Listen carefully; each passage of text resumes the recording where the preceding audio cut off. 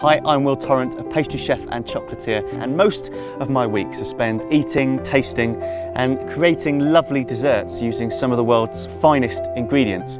Uh, but this week I'm in Ethiopia, visiting people that Tearfund are helping to become more resilient to climate change, disasters and droughts through their amazing work in the self-help groups. I met an amazing uh, woman called Amarich who showed me how to make injera, one of the, the classic dishes of Ethiopia. Easy, now I've got to do it. Here we go. A fermented teff pancake, if you like, uh, cooked uh, over fire on a steel plate. And the way that she welcomed us in to, to her home was just incredible.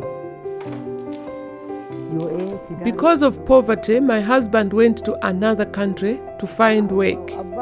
So I was left to raise my seven children alone.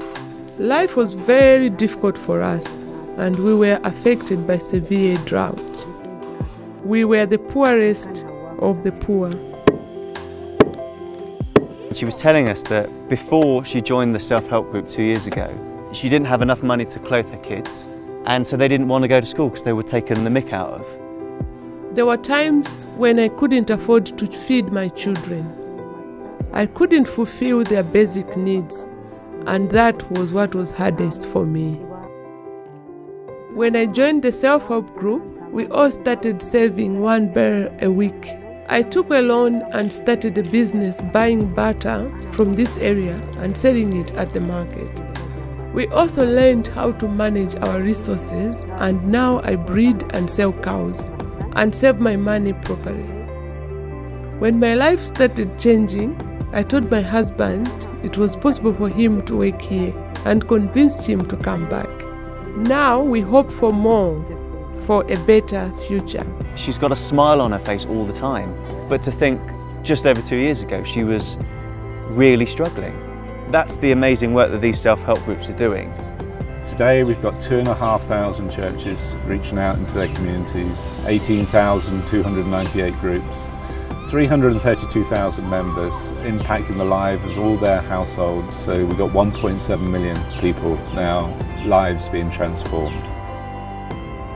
The biggest problem in my community, the weather here is all mixed up. During the dry season, unexpected rain would come and destroy crops. When it should rain, it does not. And when it should be cold, we have a hot season. So everything has changed.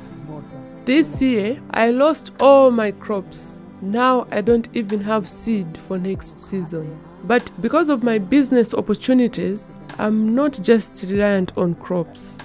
I can buy seed elsewhere. But not everyone will have money to buy seed. I've seen how incredibly tough it is for people that have been affected by drought, disaster, climate change. But I've also seen the amazing hope that they have, having changed their mindset, even though they're about to face more difficult times ahead.